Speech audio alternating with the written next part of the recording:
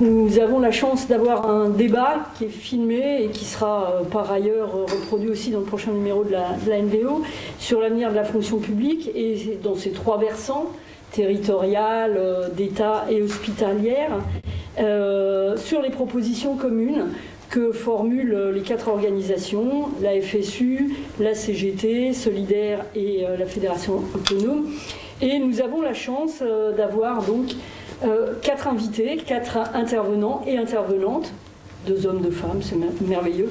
Donc Benoît Test, euh, tout de suite euh, à ma gauche, qui est donc le secrétaire général de la FSU, Natacha Paumé, qui représentera la CGT dans, ces trois, trois versants, Gaël Martinez de l'Union syndicale solidaire et notre camarade Fabien Golfier de la Fédération autonome.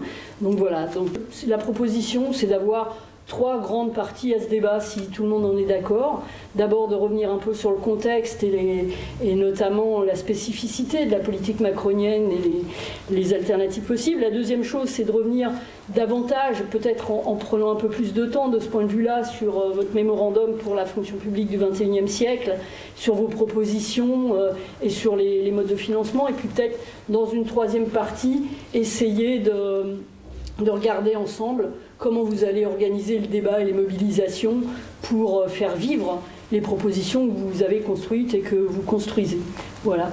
Alors, première question, euh, après plus d'un an de pandémie quand même, hein, puisqu'on en, est là, au cours duquel, euh, les hospitaliers, les agents de première et seconde ligne des trois versants de la fonction publique ont été très largement plébiscité par, euh, par la population, et puis aussi après plus d'un an et demi de mise en place de la loi de transformation de la fonction publique voulue par le gouvernement, euh, quel bilan faites-vous à la fois du rôle de, de ces services publics euh, pour la société et des limites et des difficultés de leur mission d'une certaine façon euh, avec les conséquences de, la loi. Je pense que finalement, euh, cette, euh, cette, crise hein, que malheureusement on traverse depuis plus d'une année maintenant, et ben, elle démontre ce qu'on avait dit déjà depuis très longtemps sur les services publics et la fonction publique, hein.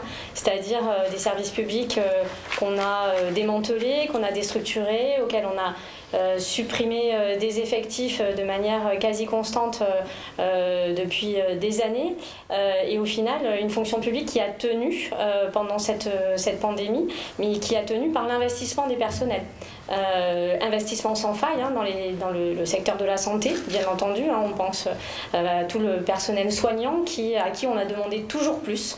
Euh, toujours plus, avec même des provocations euh, euh, ces derniers temps de la part du, président de la République et, du Premier ministre, à qui on a demandé, enfin, qui demandait au personnel de tenir encore, alors même qu'on n'a donné absolument pas les moyens à ces services publics de, pouvoir fonctionner. Hein. On se souvient des manques de masques, des blouses que les personnels se sont fait eux-mêmes avec des sacs poubelles, ce qui est quand même absolument terrible dans un pays comme le nôtre de se dire qu'aujourd'hui on laisse les services publics euh, dans cet état-là.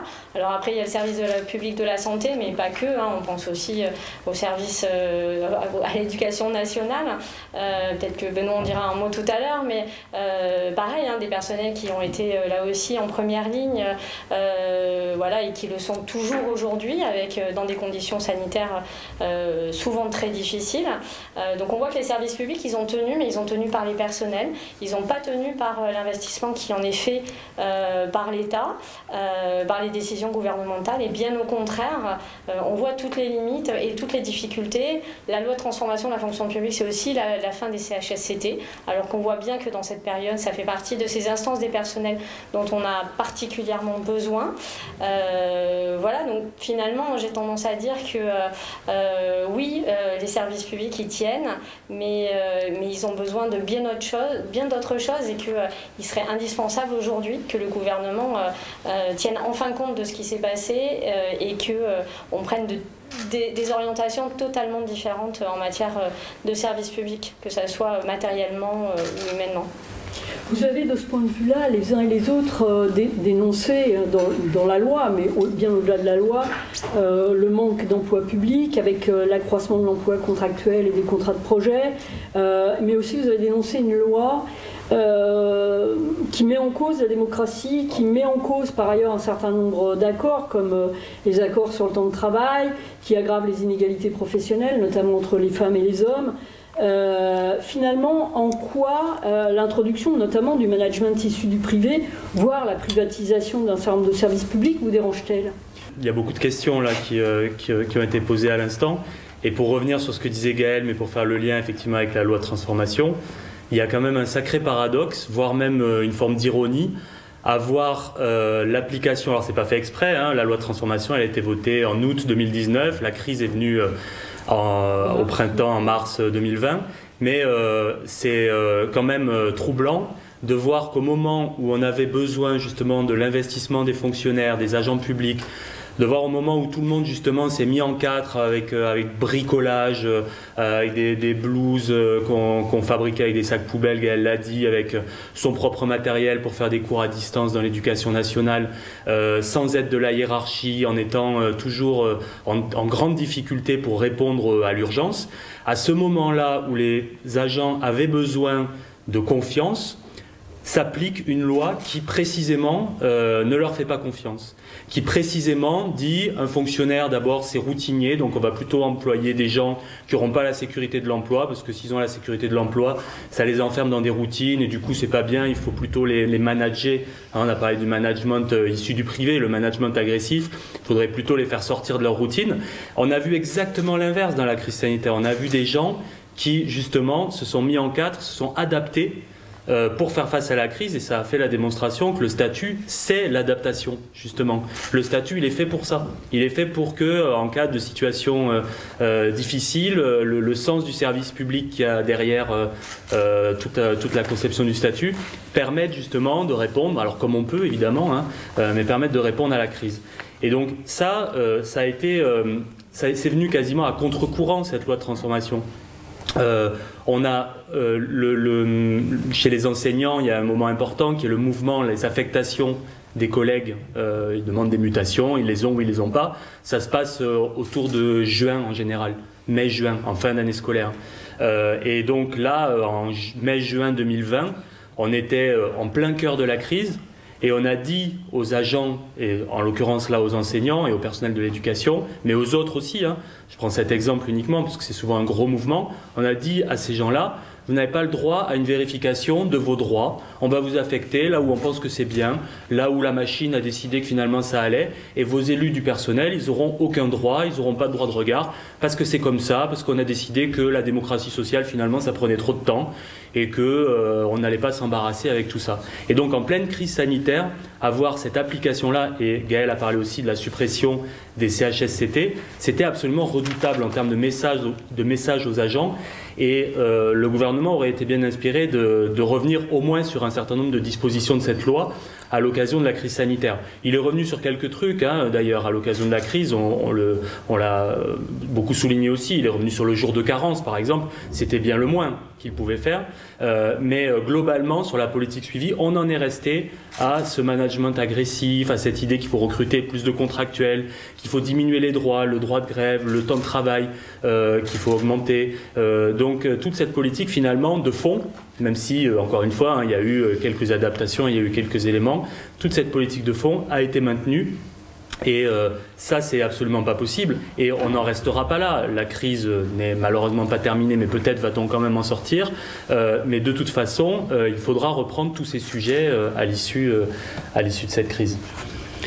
Tu souhaites réagir Je, pense qu'on est arrivé au niveau des agents à une, au bout de leur résilience. Ils sont vraiment, ils ont développé, en même temps, ils ont vécu à la fois la crise en tant qu'être humain, en tant que personne, et ils ont vécu la crise en tant qu'agent public au service des autres, en étant en présentiel pour un bon nombre d'entre eux, en distanciel pour un certain nombre d'autres, mais pour faire fonctionner une machine qui est essentielle pour l'ensemble du pays. Et c'est ce qui a rassuré en fait nos concitoyens. Et ce fait de rassurer, c'est quelque chose que le privé n'apporte pas. Alors effectivement, on a parlé aussi dans le privé la présence aux caisses, des caissières, etc., qui étaient aussi des, collègues de première ligne, parce qu'ils permettaient ce service qui était nécessaire à tout un chacun. Mais le service public en lui-même a montré que toute sa structuration n'a qu'une vocation, qui n'est absolument pas mercantile, c'est de rendre service. Et c'est le terme de service public. Servier, c'est certainement le mot qu'il faut savoir retenir, sauf que les agents sont à bout. On le voit notamment dans la fonction publique hospitalière, où on assiste à un nombre de démissions qui est impressionnant. Et ça, c'est réellement quelque chose qui va nous poser un problème demain, parce que ce sont des agents qui n'ont pas non plus connu euh, de renouvellement d'effectifs, qui ont vu leurs effectifs diminuer, leurs moyens diminuer. Elle l'a évoqué, euh, c'était au même titre que beaucoup d'autres services. Sauf qu'à l'arrivée, ceci étant vraiment, mais alors, c'est plus la première ligne. Ils étaient réellement, mais au, contact même de, la difficulté. Euh, ils n'en peuvent plus et ils quittent la fonction publique hospitalière. Mais qui demain va assurer cette fonction publique hospitalière? Les hôpitaux privés? Dans quelle mesure? Avec quel financement? Quels moyens? La sécurité sociale, c'est une garantie pour nous, on le voit. Ne serait-ce que même pour les tests PCR. Les tests PCR, dans d'autres pays, c'est 100, 200, 300 euros. En France, un test PCR qui permet de garantir à quelqu'un qui n'est pas malade, c'est un passage au test un passage de la carte vitale, oui, effectivement, il y a un coût derrière, mais c'est un coût partagé. On a construit la fonction publique en associant les moyens de tous, chacun à son niveau. Ça ne pourra pas se faire en déclinant ça au niveau du privé. Ce n'est pas possible. réagir peut-être à cette question Très rapidement. Hein. En 2008, il avait été déjà unanimement reconnu que les services publics avaient servi d'amortisseur à la crise. Je pense que là, pendant cette pandémie, on a bien vu que euh, le pays a tenu grâce à ces services publics. Et donc il est temps, il est plus que temps que le gouvernement et la population euh, le reconnaissent. Et pour nous, tous ici, euh, la publication, la fonction publique du XXIe siècle a vraiment vocation à mettre dans le débat public, et notamment dans le débat public des prochaines échéances électorales, cette question-là, la question centrale de la fonction publique, des services publics, qui sont au service de toutes et tous, essentiellement pendant les périodes de crise, mais aussi au quotidien. Merci. Alors du coup, euh, c'est malgré cela, dans ce contexte, que le gouvernement euh, entend, il l'a annoncé, mettre en place sa fameuse loi 4D, différenciation, décentralisation, déconcentration, décomplexification, il l'a annoncé, et il affirme qu'il s'agirait d'adapter le droit aux spécificités régionales, locales, euh, et d'apporter des réponses de proximité aux usagers. Est-ce de cela qu'il s'agit? Et si c'était ça, est-ce que c'est pas défendable finalement? Alors là-dessus, je, veux bien, je veux bien répondre. La décentralisation, et notamment l'acte 1 de la décentralisation du début des années 80, avait cette vocation à rapprocher les services publics locaux des populations et d'avoir une adaptation en fonction des territoires, des populations, etc. etc. Et euh, c'est pour cela qu'on a euh, décentralisé certaines missions et il y avait une péréquation financière qui permettait, en fonction de la population, en fonction de la géographie, en fonction de l'éloignement, de répondre aux besoins de services publics de toute la population, quel que soit l'endroit où elle vit.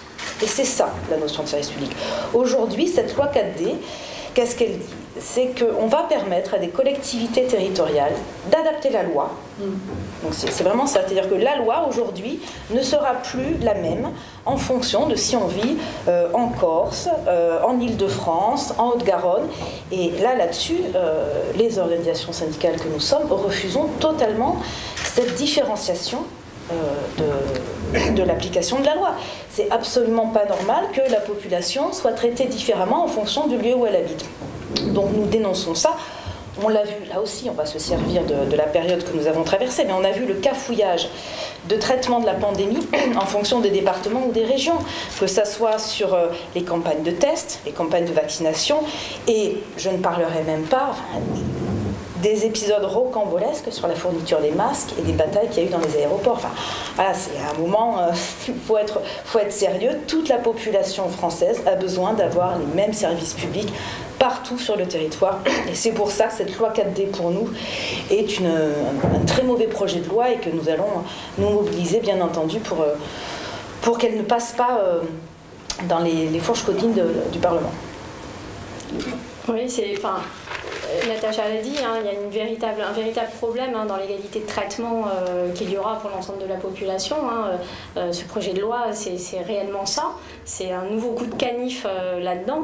Et quelque part, c'est aussi une manière plus ou moins déguisée de démanteler encore un peu plus les services publics, de détruire, de défaire les services publics, mais sans le dire, en disant bah, finalement les gens ne pourront pas comparer quels sont les services publics auxquels ils ont accès, s'ils sont à Ajaccio, à Bordeaux ou à Strasbourg, parce que finalement tout sera différent partout.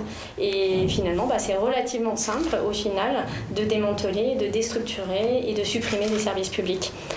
C'est une loi qui euh, produit, selon vous, davantage d'inégalités. Oui, c'est la question de l'égalité hein, qui est au cœur euh, de, de, ce qui a été dit, euh, qu'on partage complètement.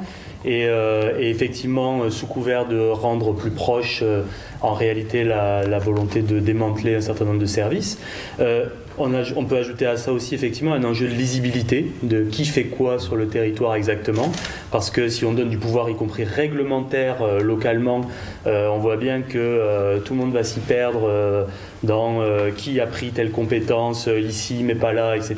Donc c'est quand même à l'inverse des objectifs qui sont affichés, hein, de rendre plus lisible le service public. Là, on est en plein dans des choses qui vont être différenciées et donc très difficiles à lire.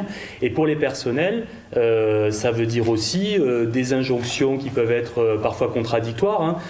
dans cette loi 4D, il y a par exemple les adjoints gestionnaires des établissements qui seraient désormais sous la double tutelle à la fois de l'État via leur chef d'établissement et sous la tutelle de la collectivité territoriale, les, départements dans les collèges et les, régions dans les lycées. Et au milieu de tout ça, ils sont censés faire quoi? Personne n'en sait rien, mais on sait au final en quoi ça fait souffrir les personnels de ne pas savoir exactement qui est le donneur d'ordre, qui euh, à qui euh, je dois exactement obéir quand euh, on me demande de, faire telle ou telle chose. il y avait aussi, bon, qui a été évité dans cette loi quand même, le, la décentralisation des services de santé scolaire, parce que derrière, il y avait aussi la volonté de les mutualiser avec les services de santé départementaux, et en réalité, là aussi, hein, de réduire les coûts et de réduire, réduire la voilure, hein, tout simplement, ce qu'on appelle des mutualisations. Et donc, il y, a, la vraie question par contre de qu'est-ce qui doit relever d'un service public de proximité, comment on fait en sorte que euh, les services publics de proximité euh, garantissent l'égalité sur le territoire, c'est-à-dire qu'évidemment il y a des missions qui doivent être gérées au niveau local, mais euh, il faut par des systèmes de péréquation, par ce qui avait été fait au début des années 80, hein, la, la, première phase de décentralisation, c'était quand même aussi amener un statut dans les collectivités et permettre justement qu'il y ait la protection aussi des agents publics, euh, protégés par un statut et donc euh, les usagers aussi protégés par l'existence de ce statut. Et on a eu de cesse depuis, par les phases, phases de décentralisation euh, suivantes, de, de, réduire ça. Et cette loi 4D vient parachever cette logique. Et donc effectivement, il faudra, faudra la combattre également. Oui, ben, je suis tout à fait d'accord, parce que issu moi-même de la fonction publique territoriale, euh, la décentralisation, euh, c'est du quotidien. Et on compare bien, très, assez aisément, euh, les différences qu'il peut y avoir entre deux collectivités, son mode de fonctionnement et les services qu'elle apporte à la population. Sauf qu'à l'heure actuelle, on a quand même une visibilité de ce que doit être un service public, de ce qu'elle doit proposer et apporter à un territoire, à ses, à ses citoyens. Demain, en fait, il va falloir chercher une carte, il va falloir avoir une sorte d'annuaire des services publics en fonction des territoires. Ça va être un gros travail de, récollement à, avoir, à faire, mais on ne va pas être capable de pouvoir se dire si je vais habiter à tel endroit, est-ce que je peux bénéficier de tel ou tel service qui d'habitude et à l'heure actuelle sont déjà euh, font partie du, lot commun. On va accroître ces différences, on va aussi, Benoît l'a évoqué, déséquilibrer euh, la, lisibilité pour les agents qui vont exercer ces missions. Euh, sur une carrière, euh, maintenant, c'est vrai qu'avant, on faisait une carrière assez linéaire sur une même collectivité, par exemple. Maintenant, il y a beaucoup de mouvements, euh, ça, fait un petit, parfois un peu le tour de France. Ces agents vont devoir se remettre en question à chaque prise de poste. Pourtant, ils exercent exactement les mêmes missions, mais dans un contexte complètement différent à chaque fois. Ils n'attendront pas automatiquement. C'est déjà le cas, notamment sur la, partie du régime indemnitaire, mais on en abordera certainement un peu le sujet tout à l'heure, des rémunérations. Mais ils n'abordent déjà pas leur poste en fonction de la même rémunération, notamment liée à leur régime indemnitaire, mais ça va aussi jouer sur leur carrière, ça va jouer sur plein de choses. Donc en fait, en déséquilibrant à la fois le service public rendu et en déséquilibrant l'exercice des missions pour les agents publics, voire en externalisant, parce que c'est aussi un petit peu l'idée demain, c'est de ne plus avoir beaucoup de services publics, c'est d'avoir des services publics, euh, des délégations de services publics accrues, on va rendre un service qui ne sera plus un service. On va faire payer aux citoyens un produit, tout simplement. On va arriver à quelque chose qui relève du privé, on n'est plus dans le service, on est dans un service qui se transforme en produit et qui à ce moment-là ne permettra pas le même accès parce qu'à ce moment-là, ça demande des moyens. Et ces moyens ne sont pas équivalent pour tous les citoyens. À l'heure actuelle, le service public ne coûte pas plus à un citoyen lorsqu'il s'adresse à lui. Demain, il y aura peut-être un coût pour avoir droit à un service public. Et ça, c'est complètement inacceptable.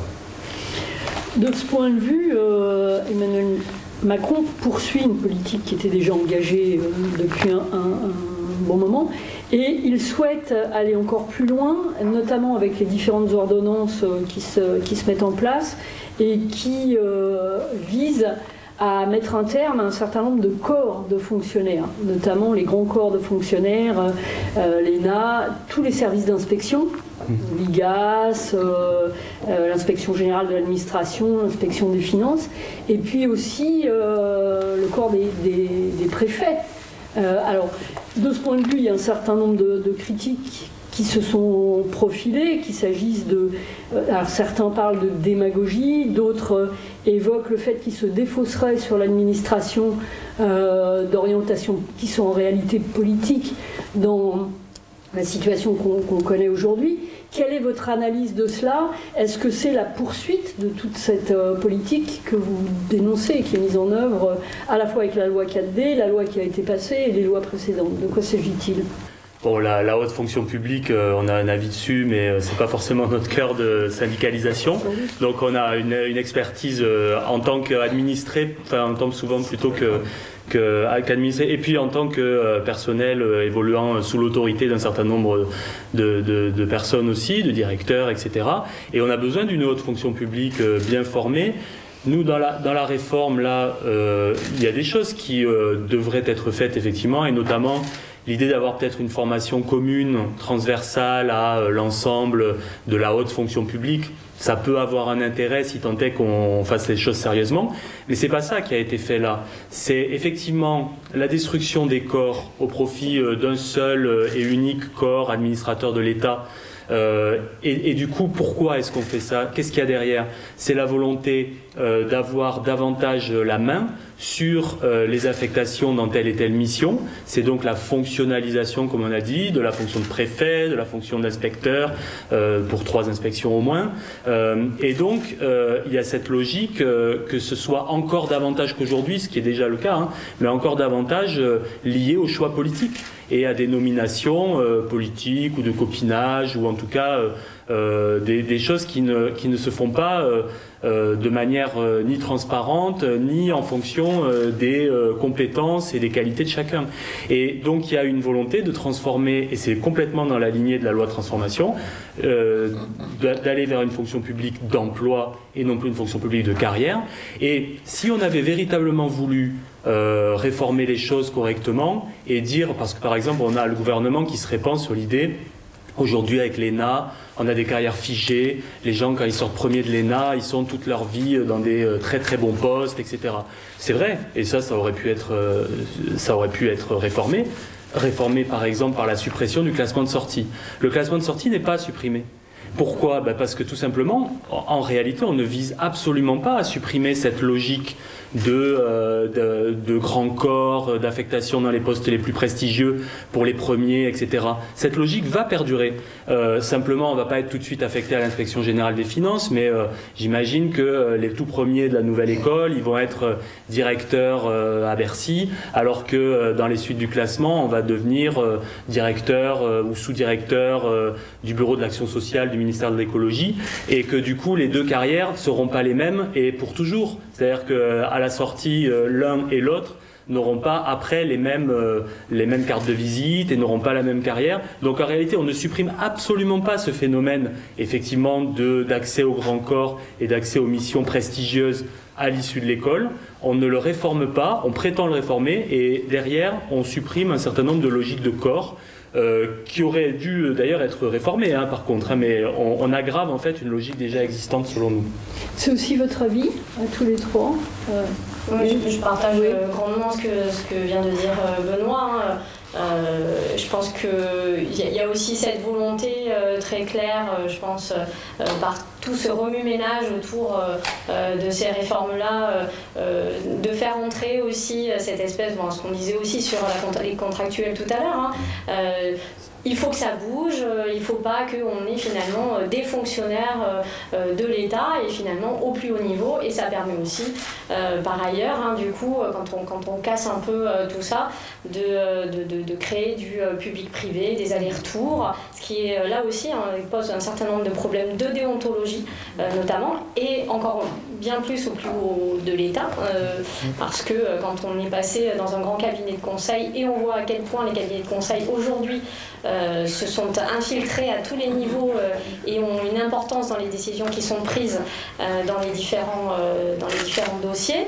voilà, c'est tout ça. Et que par ailleurs, enfin en tout cas pour Solidaire, on espère qu'un jour la ministre de la fonction publique mettra autant d'énergie à s'occuper des, des, fonctionnaires, des agents publics dans, dans, leur ensemble, hein, des, 5 millions qu'ils sont, qu'elle met d'énergie à faire de la publicité et, de, la, de, la communication autour de la réforme de la haute fonction publique. Parce qu'aujourd'hui, on voit bien que euh, l'urgence, elle n'est pas sur la haute fonction publique. L'urgence aujourd'hui, elle est sur euh, les 5 millions d'agents publics qui n'ont plus les moyens d'exercer leur mission, qui ne sont plus euh, rémunérés comme ils devraient l'être.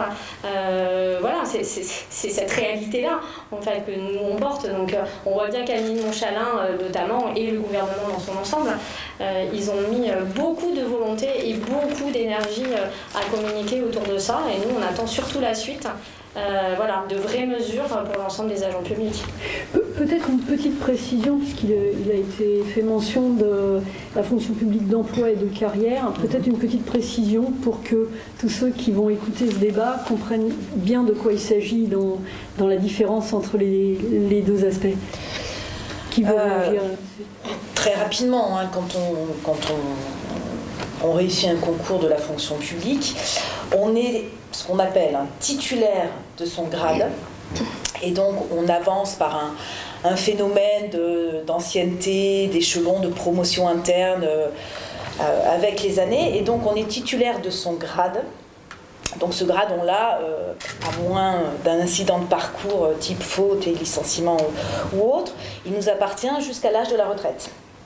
Et donc, même si notre poste est supprimé, comme dans le privé, on reste fonctionnaire titulaire et on reste titulaire de notre grade. Et à ce moment-là, on est muté, déplacé ou autre, mais on reste, voilà. C'est ce qu'on appelle euh, être fonctionnaire de l'emploi à vie. Alors que là, euh, euh, je ne trouve plus le terme, à une, fonction publique d'emploi, ben là, à ce moment-là, c'est une décorrélation de, la carrière, enfin de, la fonction, moi je vais y arriver, de l'emploi euh, du grade. Et donc du coup, ben, c'est euh, avec le, risque de, ben, de licenciement, de perte de poste, de perte de statut. Et du coup, on n'est plus assujetti au pouvoir politique. Et donc on n'a plus cette protection. Un fonctionnaire, il est là pour faire appliquer la loi, pour appliquer la loi et pas pour obéir à des ordres, notamment manifestement illégaux. C'est ce qu'on apprend quand on devient fonctionnaire, c'est quelque chose d'essentiel, qu'on a le devoir de désobéir à un ordre manifestement illégal. Là, avec ce changement et cette attaque sur le statut, et on le voit notamment dans la fonction publique territoriale, où le politique est beaucoup plus, beaucoup plus proche des agents, euh, il y a justement des situations compliquées et on peut avoir euh, à ce moment-là des, des instances disciplinaires liées à ce genre de, à ce genre de pratique. Et c'est ce qui maintenant s'étend aux trois versants de la fonction publique, qui pourrait s'étendre aux trois versants de la fonction publique. Et le problème de la haute fonction publique, euh, notamment euh, avec cette, cette transformation, et, et, euh, et pourra être dans l'avenir impacté avec des conséquences donc pour, pour les usagers, puisque s'il y a une indépendance vis-à-vis des politiques, c'est les usagers qui risquent d'en payer le prix. Alors aux États-Unis, Biden met en cause aujourd'hui les orientations qui ont guidé ses prédécesseurs et puis qui semblent guider un certain nombre de dirigeants européens, notamment donc en France. et il a notamment décidé d'un plan d'investissement public massif dont une grande part pour la transition énergétique, mais pas seulement, aussi pour des relocalisations. Il augmente les impôts des plus riches, des entreprises. Euh, d'autres le font aussi en Europe. Hein. Il a été fait mention de l'Écosse, par exemple. Euh, avec une organisation politique qui vient de remporter récemment les élections.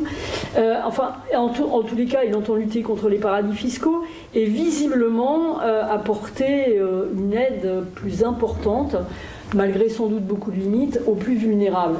Est-ce que ça veut dire que d'autres orientations sont possibles euh, ou est-ce que c'est spécifique aux États-Unis et, euh, que cet autre possible euh, ne serait pas envisageable en France? Dans le contexte actuel Ce qui peut être intéressant, c'est qu'en général, en, règle générale, l'Europe et, et, la France ont tendance à vouloir se calquer à la, politique euh, des États-Unis. Donc là, ce qui peut paraître ce qui pourrait être intéressant, c'est que depuis 2008, on a en Europe et, en France euh, des politiques d'austérité avec un vocabulaire tel la dette publique, il faut mettre fin à la dette publique, donc on va mener des politiques d'austérité, et c'est ce qui permet de justifier toutes les attaques contre la fonction publique que nous subissons. Donc là, un tel revirement euh, de une telle tentative de revirement de politique. On, parle même de, Biden comme étant le nouveau Roosevelt, vu sa politique d'investissement.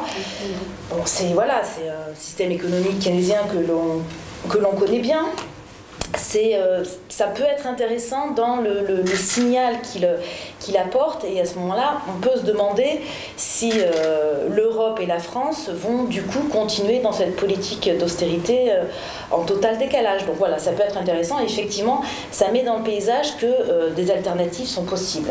Et donc le discours que l'on nous sert depuis plus de dix ans sur les politiques d'austérité et sur le fait qu'il n'y a pas d'autres alternatives possibles, voilà, ça, montre un autre message et en ce sens-là, ça peut être plutôt favorable, même si après, euh, le syndicalisme de transformation sociale que nous défendons euh, euh, voilà, ne porte pas non plus forcément la, politique, la démarche keynésienne comme un, comme un projet. voilà. Mais voilà, en termes de message, ça peut être intéressant.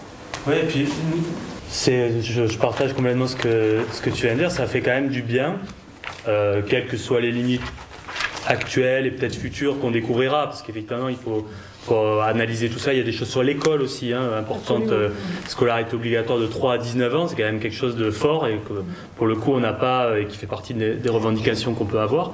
Euh, ça fait du bien parce qu'en plus c'est allé très vite. Enfin, euh, les États-Unis, pays triomphant, pays pardon du libéralisme triomphant.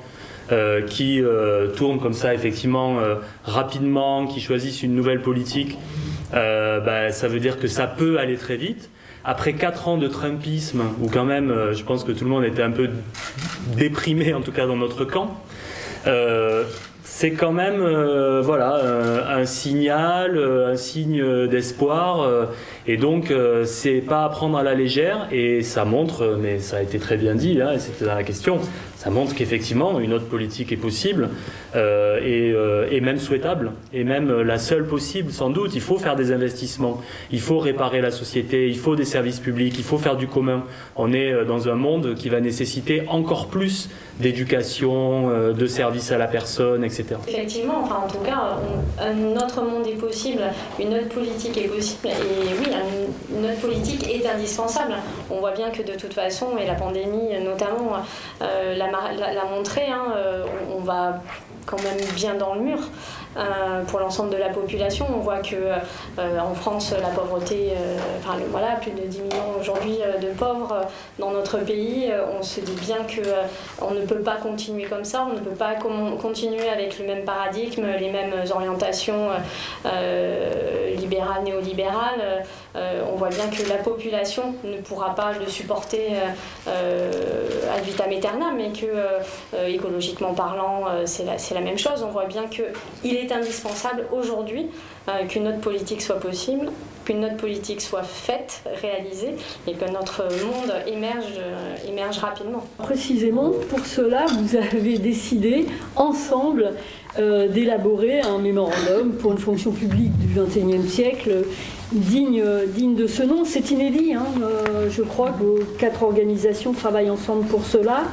Euh, qu'est-ce qui a présidé au fond à une telle démarche Peut-être une prise de conscience, hein, une prise de conscience qu'au-delà même du fait que régulièrement on se retrouve les uns euh, face à face les uns les autres face à face au moment d'élections, mais on porte tous, d'une part, un idéal de service public, un idéal de, fonctionnement de nos institutions, et qu'on s'est rendu compte, et c'est un constat qu'on partage en tout cas, que les, les, agents publics sont la variable d'ajustation de toutes les politiques publiques et surtout de ces déficits, et qu'à un moment donné, euh, on peut les uns et les autres travailler de notre côté, on porte chacun nos messages à titre personnel, mais d'un autre côté, on a aussi des convictions qui sont communes sur ce sujet, et qui, si on veut donner du poids à ces convictions, il vaut mieux se mettre à plusieurs pour les porter, et on est très souvent stigmatisé, euh, les syndicats sont souvent, c'est la contestation, euh, c'est toujours de l'opposition, alors qu'en fait on est force de proposition en permanence.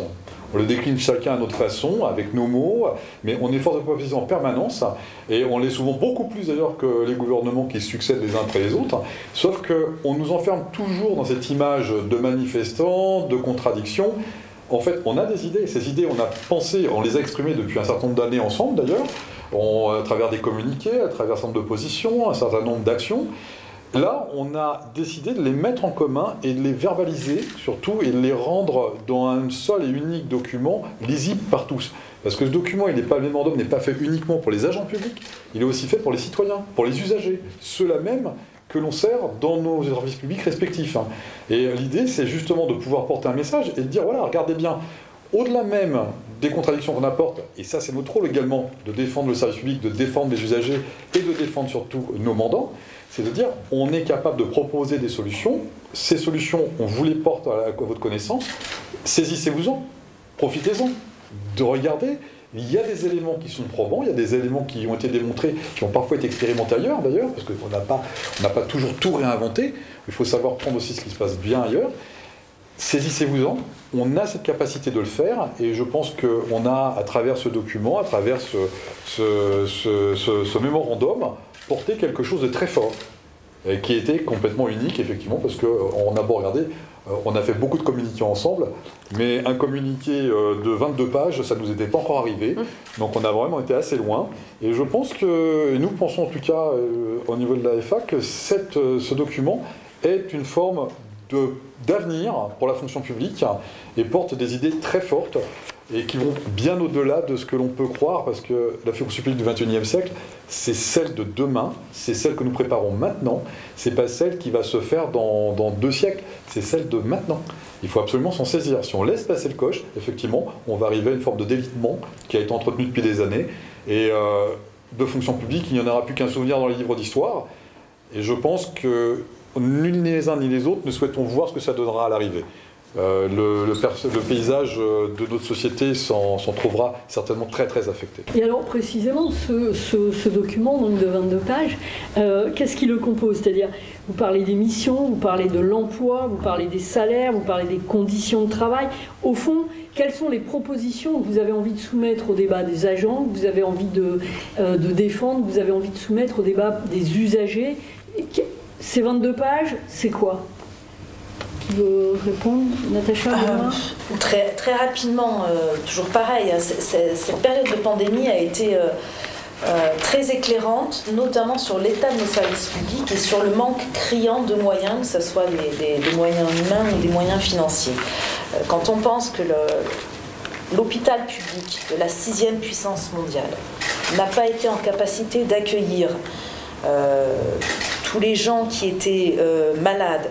Et pour cette raison-là, on a été obligé de subir plusieurs périodes de confinement, parfois très dures, notamment le premier, parce qu'il fallait surtout éviter qu'il y ait trop de malades en même temps dans l'hôpital. Voilà, c'est éclairant. Aujourd'hui, nous avons besoin de services publics. Alors là, ça a été l'hôpital euh, pendant la période de la, pandémie, mais euh, l'école, l'éducation nationale, ça fait des années et des années qu'on demande une baisse des effectifs dans les classes. Euh, les services publics euh, territoriaux n'ont plus les moyens non plus de répondre aux, besoins des populations. L'état des routes. Il y a encore 15 ans, avant le deuxième acte de la décentralisation, la France avait le premier réseau routier en termes de qualité. Aujourd'hui, on est bien après la dixième place, il me semble, 13e, hein, 14e place. ça veut dire qu'en 15 ans, euh, l'état des services publics s'est euh, dégradé à une vitesse folle. Et plus ça va, plus ça s'accélère. En plus, entre le premier et le deuxième confinement, euh, on a eu plusieurs centaines d'infirmières qui ont démissionné de l'hôpital public, notamment déçues par, euh, par les annonces du Ségur et par le fait de ne pas avoir été entendu. Et donc, du coup, des lits ont fermé alors que nous sommes en pleine pandémie. Donc euh, voilà, c'est à la fois pour les agents, leurs conditions de travail, leurs conditions d'exercice euh, des missions de service public, mais pour les usagers, voilà, là, la situation est vraiment éclairante. Donc, il est temps qu'il y ait une réaction forte à la fois euh, des fonctionnaires, mais aussi des usagers qui sont attachés à leur service public. Donc, donc, intérêt des, pour les agents, intérêt pour les usagers, mais vos propositions concrètement, c'est quoi? Quelles sont vos différentes propositions? Alors justement, je pense que le, les propositions qui vont dans le sens d'une participation plus grande des usagers à la définition euh, de leur service public, à l'implication dans leur service public, aux remarques qu'ils ont à faire, aux, besoins qu'ils identifient. Euh, ça, ça fait partie des chantiers qu'il faudrait ouvrir. Il y a plein d'autres propositions, mais je pense que c'est euh, celle-là qui me semble importante et elle est déclinée dans plusieurs propositions. Ce qui est important de noter, juste par rapport à la question quand même, c'est qu'effectivement, le, le, mémorandum, là, il a pour vocation à montrer qu'on veut sortir de la caricature qui est faite de nous comme des gens qui voudraient jamais rien bouger. Il y a plein de choses qu'on veut modifier, il y a plein de choses qu'on voudrait voir améliorer pour le service public. Après, euh, ce qu'on dit souvent quand même dans ce livret, c'est euh, conforter, euh, améliorer les choses, mais en partant de l'existant.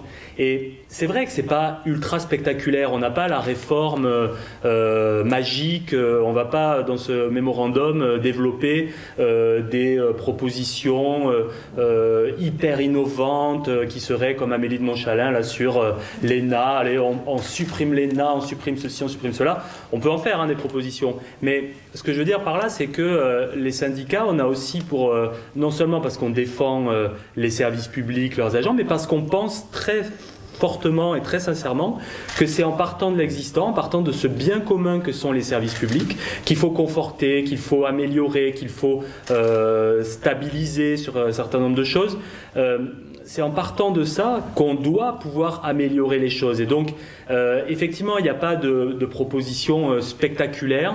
Il y a plein de choses euh, qu'on a dites qui permettent aux usagers d'avoir un service public plus lisible, le droit de s'adresser à des agents indépendants, intègres, le droit de s'adresser à des agents qui sont compétents, qui sont formés, les enjeux du numérique sont euh, essentiels dans la période. On propose euh, que notamment il y ait des accompagnements, qu'il y ait le maintien de procédures papier quand les choses sont trop compliquées pour, les usagers. Donc tous ces, toutes ces, tous ces éléments-là sont un peu développés dans le mémorandum, mais avec cette idée que c'est en partant de, de l'existant aussi qu'il faut travailler les, les sujets.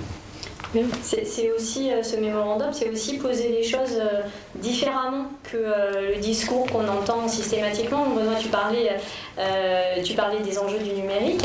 Il y a un véritable enjeu autour du numérique. On n'est pas contre le numérique. le numérique, ça peut être un outil euh, pour aider la population à avoir certaines choses. Mais aujourd'hui, le numérique, c'est euh, affiché comme la solution à tout. Alors vous allez voir, on va faire du numérique, ça sera formidable, vous aurez des services publics partout.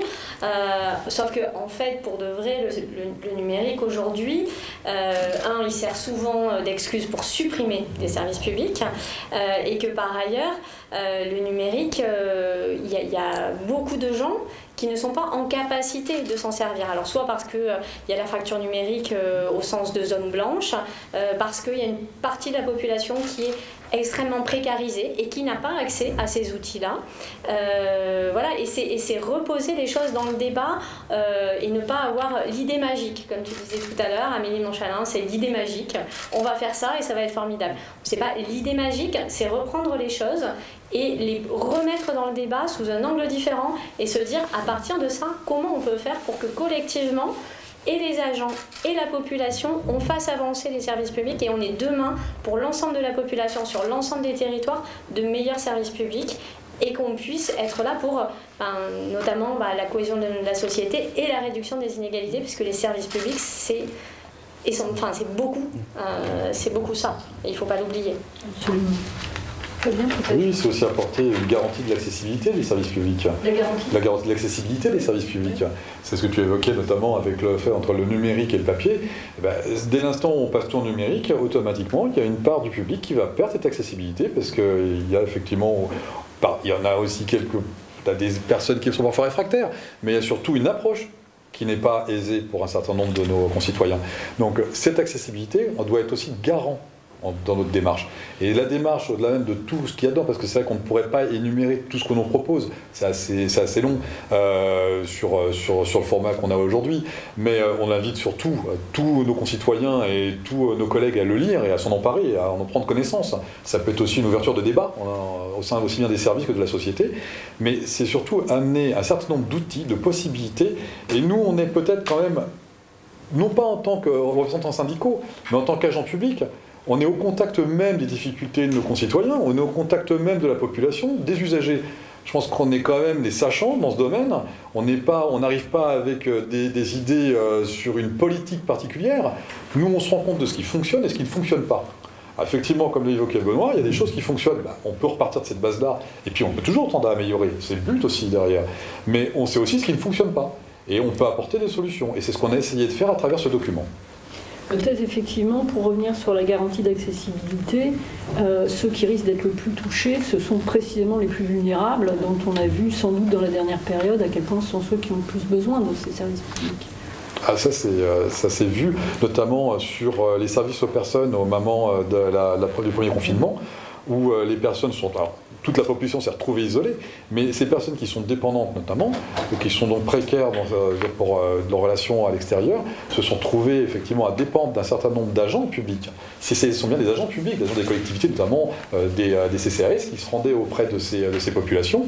Ces agents étaient en première ligne, et pourtant, en général, ce ne sont pas les agents qui sont les, mieux euh, positionnés dans les carrières de la fonction publique. Mm. Ce sont ceux qui sont sur les grilles les plus basses, sur les indices les plus bas, et qui sont le plus en difficulté, parce qu'on parlait de précarisation, mais on a quand même des agents publics qui ont beau être titulaires, qui sont dans la précarité. Ça, il ne faut pas l'oublier.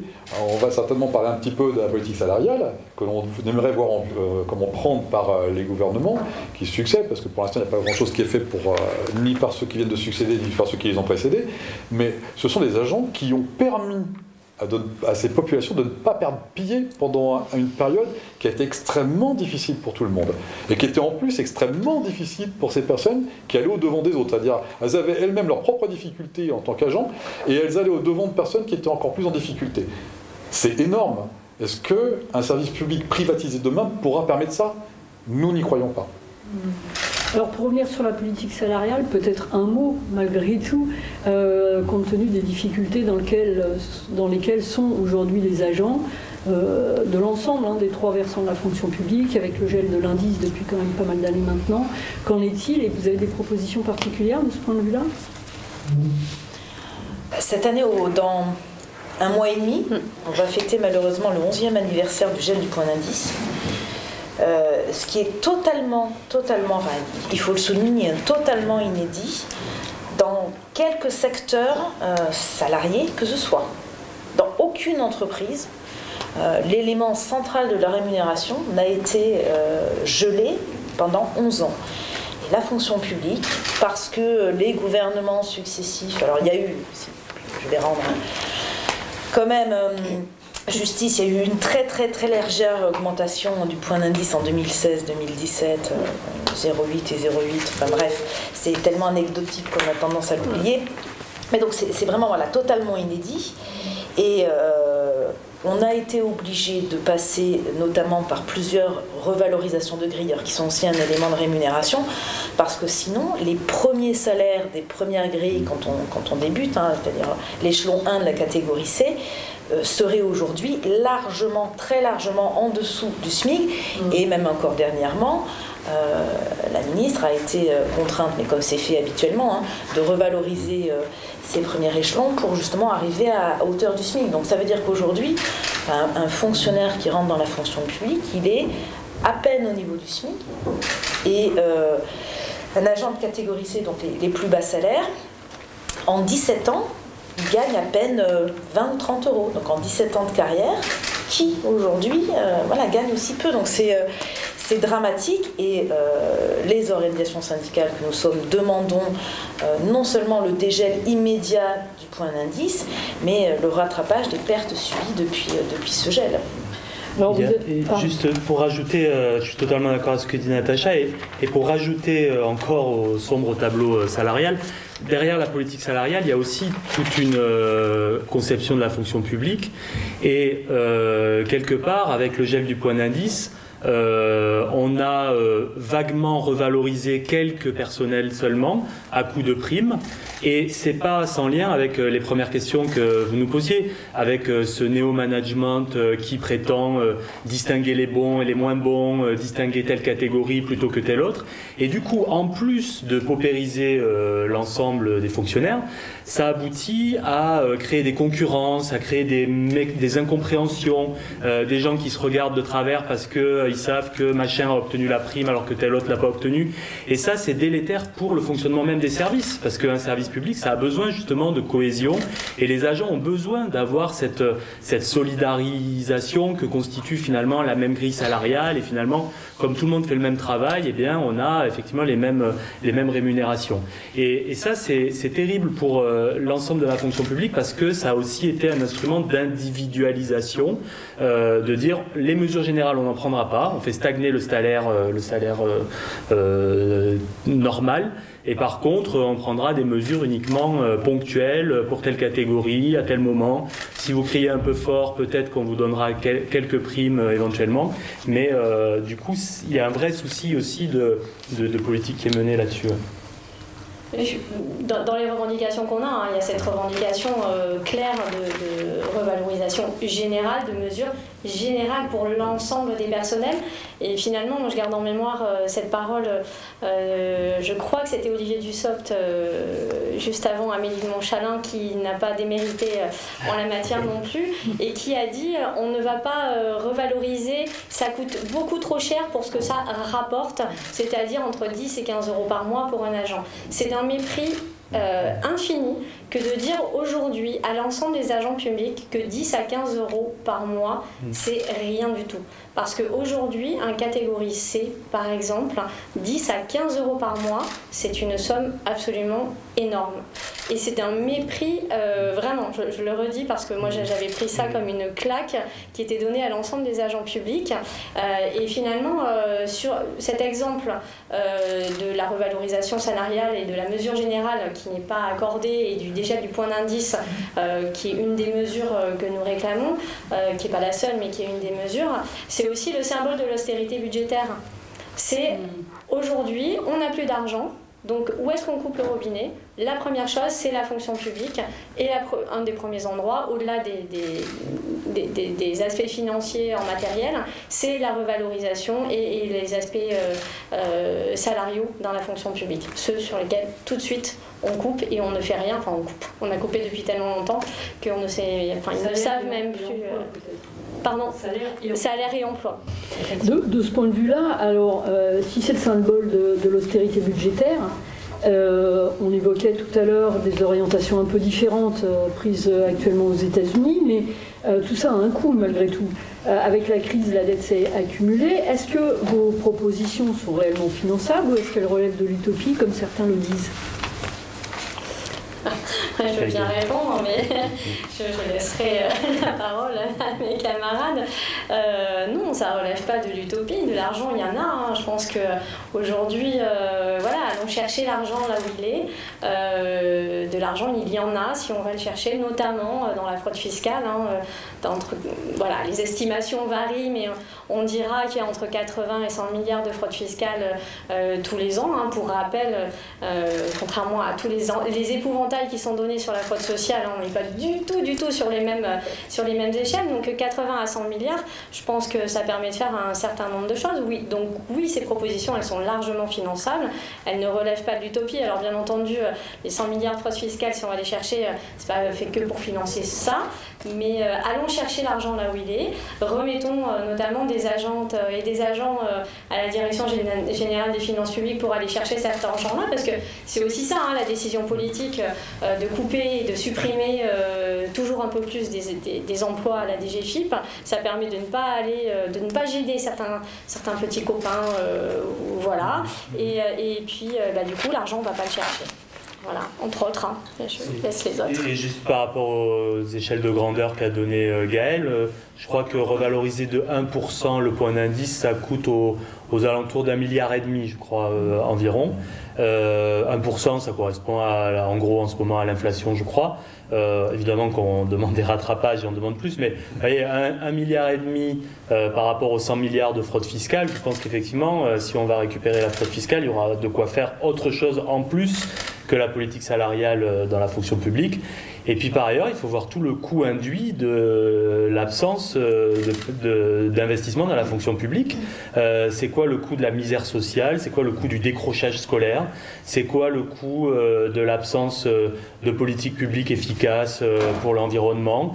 Tout ça, ça a un coût. Hein. les gens qui, se retrouvent au chômage, sans emploi, sans, sans, aide de quiconque et qui sont perdus, sans agent du service public euh, pour les accompagner, par exemple des assistantes sociales, etc., eh bien, ça a un coût pour la société. Hein.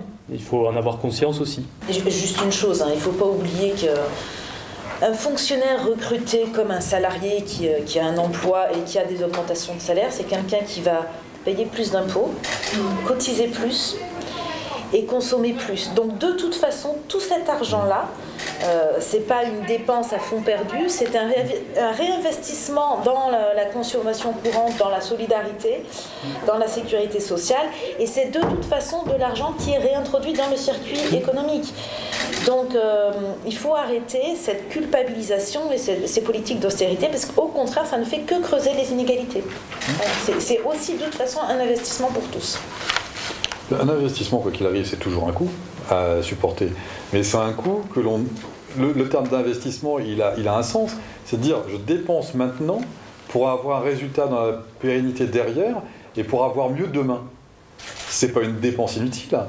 Par contre, ça ne pose beaucoup moins de difficultés de se poser la question est-ce que le fait de faciliter, de mettre en place du chômage partiel de l'entreprise, ça a aussi un coût pour l'État? Sauf que c'est beaucoup plus facilement assumé dans ce sens-là que de dire j'investis dans les services publics qui ont une valeur ajoutée pour les usagers, qui ont une valeur ajoutée au quotidien, alors que se dire je vais temporiser ici, ici et là, en sachant que de toute façon le coût, c'est l'ensemble de la société qui va avoir supporté, mais qu'en même temps on met en difficulté les agents. Créer de l'emploi dans la fonction publique, c'est créer une valeur ajoutée demain. C'est créer de nouveaux services peut-être, parce qu'il y a des services qu'on n'a peut-être pas encore imaginés aujourd'hui qui nous seront nécessaires demain. C'est de pérenniser ceux qui sont présents parfois les faire évoluer évidemment parce que la société va évoluer, puis les besoins évoluent. De toute façon, les services publics d'aujourd'hui ne sont pas ceux d'hier et sont certainement pas ceux de demain. Mais par contre, le sens commun, le sens général des services, du service public doit être maintenu. Le fait de transformer et de monétiser le service public n'est pas la solution pour demain. Oui, on est tous d'accord sur cette phrase, le service public n'est pas un coût, c'est une richesse. Oui, c'est ça. Comment entendez-vous faire euh, valoir ces propositions dans le débat qui est en train d'exister ou pas, de se développer ou pas, enfin dans une période où en tous les cas il devrait exister, notamment sur les questions sociales, et où il a l'air de s'orienter davantage sur d'autres problématiques, et notamment sur des questions sécuritaires qui divisent peut-être davantage. Comment voulez-vous resituer vos propositions dans le débat, aussi bien avec euh, les agents avec lesquels vous travaillez, euh, dans les trois versants, encore une fois, de la, fonction mm. publique et avec les usagers. Comment vous allez les porter, ces propositions? Il y a quand même une, sur ça, il, ne faut pas oublier que les questions sécuritaires, elles sont c'est aussi une question de fonction publique. La police nationale, jusqu'à preuve du contraire, ce sont des fonctionnaires. Euh, si on prend, alors il ne faut pas oublier que Sarkozy, notamment, qui euh, portait euh, au nu la, police nationale et les questions sécuritaires, a quand même supprimé, je dirais, à peu près 20 000 postes de, fonctionnaires de la police nationale, hein. sur un effectif de 145 000 à peu près, c'est quand même relativement important. Et ensuite, sur les aspects sécuritaires, toujours, il y a la prévention avant la répression.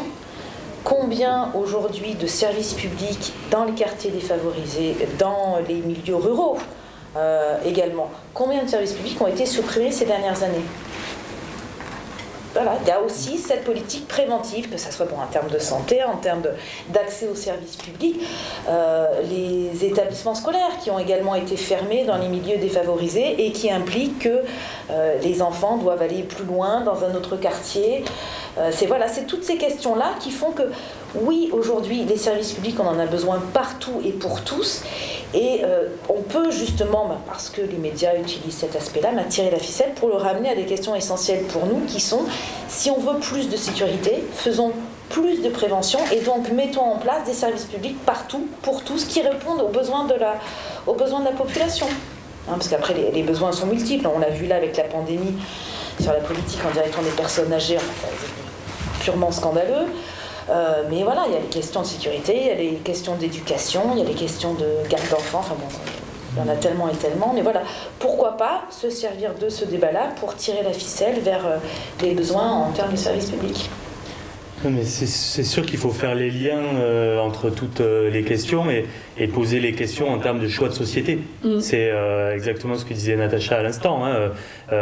soit on veut une société effectivement euh, ouverte, euh, avec euh, l'émancipation par l'éducation, avec une société qui, fonctionne sur la mise en commun d'un certain nombre de choses.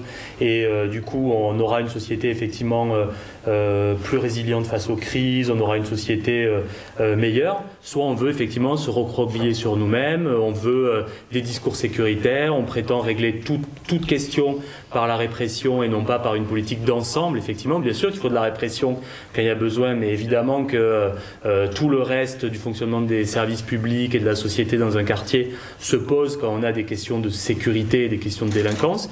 Et ces questions, il faut qu'on les affronte, effectivement. Il faut qu'on se dise, effectivement, euh, c'est un problème de société. On n'a pas peur de parler euh, sécurité, politique publique de sécurité, comment on gère les choses euh, sur tout le territoire. On n'a absolument aucun, tabou, aucune prévention, aucun, problème à évoquer ces questions-là. Mais la question de fond, c'est celle du choix de société. Et ce qui est, terrible dans le débat actuel, c'est qu'on le pose jamais comme ça. On dit, il faudrait une peine plancher, il faudra encore plus de peine, plus de peine, plus de peine, alors qu'on très bien que ça ne résout pas les questions. Euh, euh, et, ce qui est difficile pour nous, effectivement, pour répondre à la question de comment on va faire, euh, par contre, ça, je n'ai pas complètement la réponse, parce qu'effectivement, arriver à, dire que le, projet de société qu'on porte euh, il est une réponse aux, problèmes qui sont posés. Euh, on n'a pas réussi à le faire. Par exemple, sur la loi de transformation en 2019, on a fait des actions, on a fait plein de choses, on, s'est mobilisé. Les agences sont mobilisées, pas assez bien sûr, mais ils sont quand même mobilisés. Mais on n'a pas percé le mur médiatique. On n'a pas réussi à montrer que cette loi de transformation, elle était en fait un problème non pas simplement pour les agents, mais pour l'ensemble de la population, pour euh, effectivement le fonctionnement de la société lui-même. Quand on a des agents publics qui sont fragilisés, on a une société qui est fragilisée. Bon, mais ça, on n'a pas complètement réussi. Après, euh, on va continuer, hein, on va s'y remettre, et puis on va, dans le débat public, euh, peser. Le but de ce mémorandum, c'est aussi ça, c'est de, reposer les choses euh, sur le fond et d'aller au combat sur des, points précis et, concrets. Je pense qu'il ne faut, pas, faut pas opposer les services publics entre eux. Ils concourent tous à un résultat d'avoir une société qui effectivement est apaisée, qui est sereine et qui permette notamment une société sereine permet d'avoir une économie qui fonctionne. Parce qu'en fait, comment se projeter dans un environnement, que l'on soit agent public ou usager euh, ayant une mission dans un service privé, sans avoir un environnement qui est à la fois euh, euh, entouré d'un certain nombre de prestations accessibles, d'avoir des contacts faciles avec ceux qui les proposent, d'avoir une sécurité autour de soi et de se sentir dans un environnement sain, agréable, avec tout ce qui concourt à avoir une non pas, euh, on parle souvent du sentiment d'insécurité. Le sentiment d'insécurité, c'est souvent quelque chose d'assez impalpable. Mais le sentiment d'insécurité, c'est aussi cette variable qui fait qu'on va choisir plus ou moins d'aller habiter un endroit ou un autre. On a tous cette attitude-là, elle est parfaitement humaine parce qu'on cherche tous la même chose, c'est de pouvoir sortir de chez soi, euh, d'avoir euh, par exemple la mairie à quelques mètres de là pour pouvoir accéder aux services qui va nous permettre d'aller faire nos papiers ou autre, d'avoir la possibilité de rentrer à n'importe quelle heure du jour ou de la nuit en sécurité, d'avoir des commerces qui sont qui vont dire qu'ils fonctionnent parce que ces commerçants n'ont pas peur de se retrouver dans la difficulté euh, pour pouvoir ouvrir le rideau le matin et, le fermer tard le soir si nécessaire. En tout cas, c'est tous, les, services de sécurité, de, comment, des services publics dans leur aspect général concourent à un ensemble, à une atmosphère, à une, une sérénité de vie et qui permet et qui favorise tout un ensemble. Euh, c'est tous ces services qui sont nécessaires. Ils doivent s'articuler entre eux, ils ont chacun leur place, chacun leur niveau, mais en tout cas, se priver de l'un, des uns ou des autres serait de toute façon demain un échec total et une erreur qu'on pourrait certainement reprendre. Natacha évoquait euh, notamment euh, la diminution du nombre d'agents publics. La police nationale a été victime et bien d'autres services publics malheureusement ont été victimes. On a évoqué les hôpitaux tout à l'heure et ça ne veut pas s'améliorer encore demain pour l'instant en tout cas. En tout cas, nous on tend avec nos propositions à faire inverser cette tendance et euh, ouvrir le débat. Et effectivement, on n'a pas la solution, Benoît le disait, on ne sait pas automatiquement comment on peut le faire, mais c'est une base que l'on pose sur la table. Demain, on, entre sur la campagne des présidentielles, il va y avoir des programmes. Euh, il y a aussi, ce n'était pas un programme, par contre ce sont des pistes de réflexion pour amener peut-être et influencer des programmes. Et ça doit aussi servir à ça, et ça doit aussi permettre à ceux et celles qui sont des électeurs de se dire demain, tiens, moi j'ai lu dans le mémorandum ces idées qui semblent intéressantes, qui les reprend mm. Qui les propose mm. Qui les porte Ça peut être aussi un point de réflexion, ça peut faire avancer.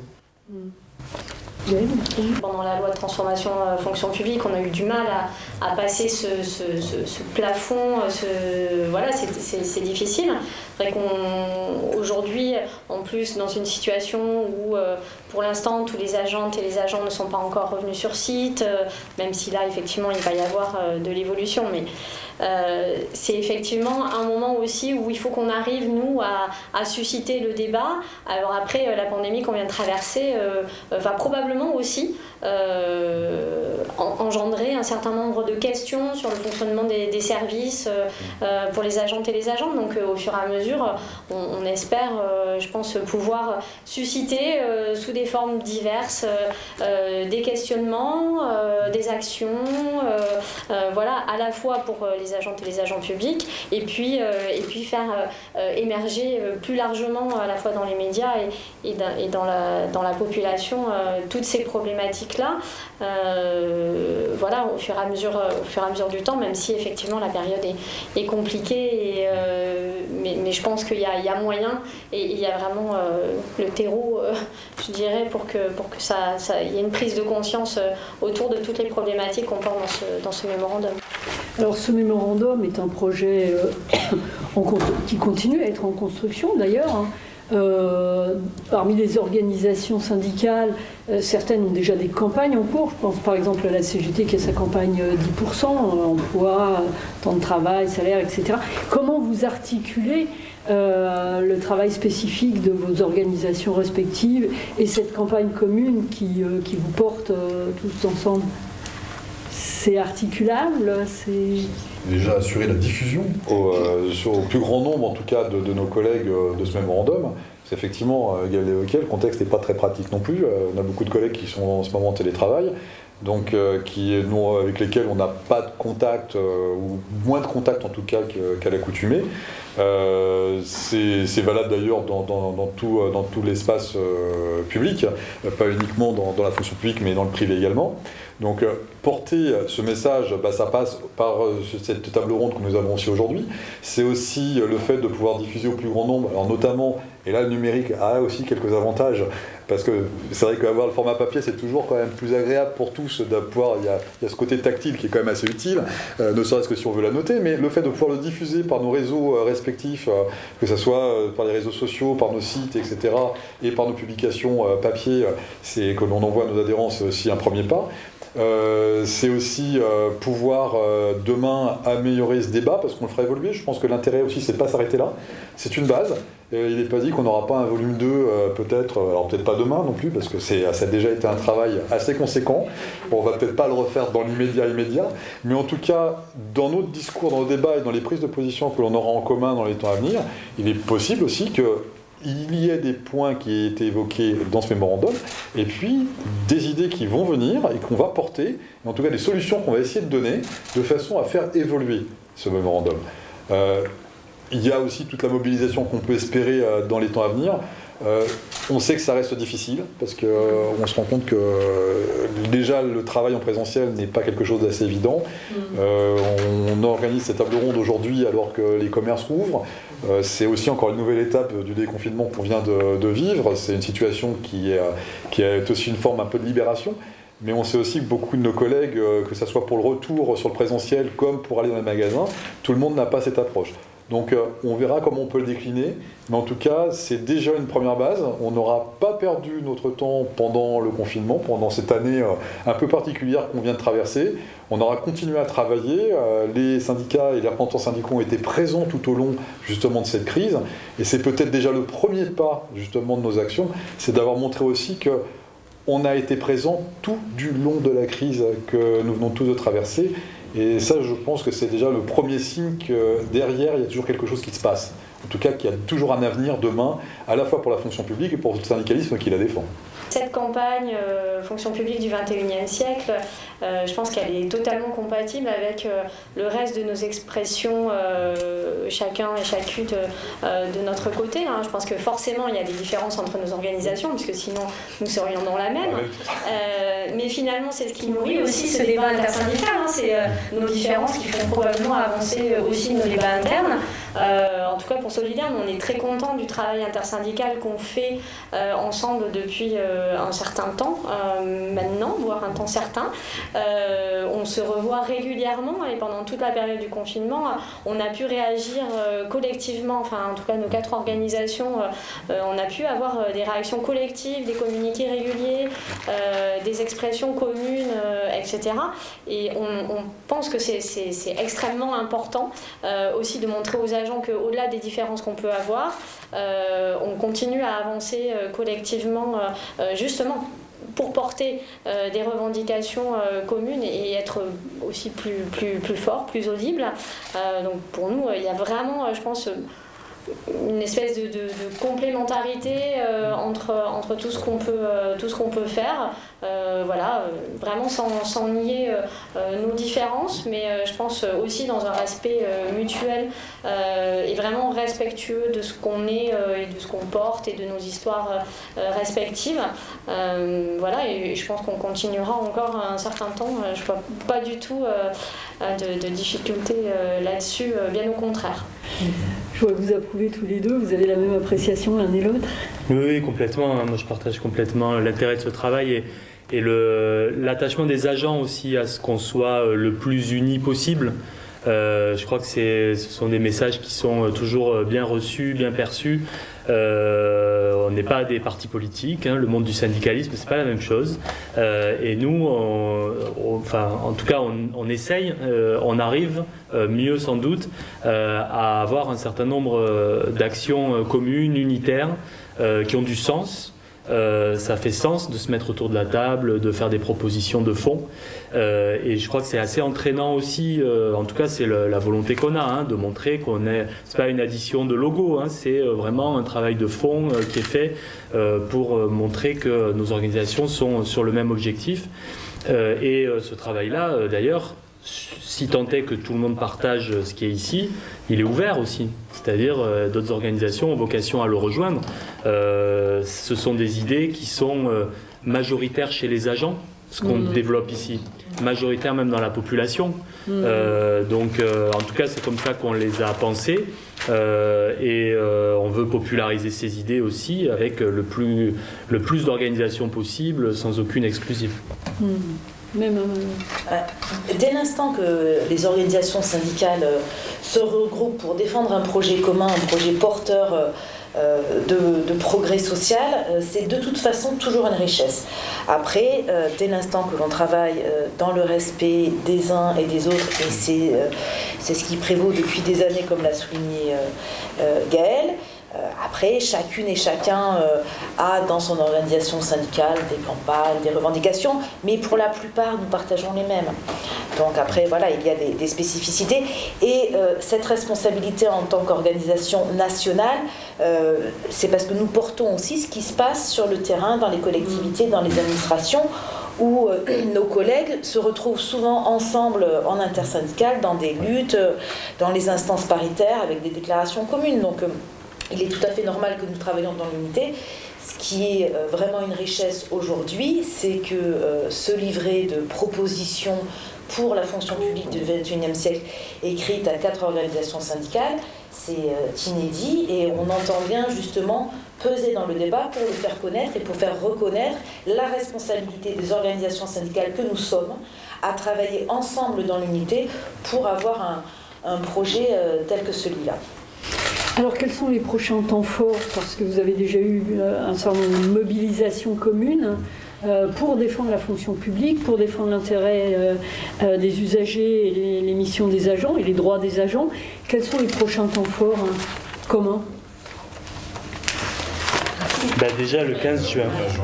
Déjà, euh, on peut déjà annoncer qu'on a une date de mobilisation. Alors, on est en train de la construire, donc on verra quelle forme elle prendra exactement. C'est pas complètement simple dans la période d'avoir des dates euh, où tout le monde puisse euh, se rassembler. On espère que le, plus grand nombre pourra participer, mais voilà, pour l'instant, on n'a pas prévu est-ce que ce sont des rassemblements. il y aura bien sûr des conférences de presse, des actions médiatiques, parce que le but, c'est vraiment ça, hein, d'interpeller et de faire exister ces revendications. Euh, après, il y a tout euh, le travail qu'on mène au quotidien, bien sûr, je, n'insiste pas. Il y a toutes les autres mobilisations dans lesquelles on est impliqué. Il y aura euh, forcément à la rentrée aussi des mobilisations. Là non, là non plus, elles ne sont pas définies exactement, mais déjà, on a commencé à discuter un petit peu entre organisations. et je pense que ce qui sera important, c'est aussi que ces revendications-là, elles existent dans un cadre interprofessionnel, hein, c'est-à-dire que effectivement, hein, ce qu'on demande pour le public, c'est pas incompatible avec des demandes de sécurisation aussi pour le privé, euh, des demandes d'emploi également pour l'emploi dans le privé. Donc tout ça, euh, il y a beaucoup de, d'échéances qui sont qui, qui, vont être programmées, euh, et l'idée, c'est vraiment de peser dans le débat public et de faire la démonstration que, encore une fois, nos idées sont majoritaires. Euh, même si on n'arrive pas à avoir tout de suite euh, des, grèves euh, massives, ce qu'on souhaiterait bien sûr, mais on peut se le dire aussi, ça va être compliqué là en tout cas en fin d'année scolaire. malgré tout, on pense que ces idées sont majoritaires et maintenant il s'agit de convaincre nos collègues de venir avec nous les porter devant l'opinion et de les porter largement. Je vous remercie tous les quatre. You.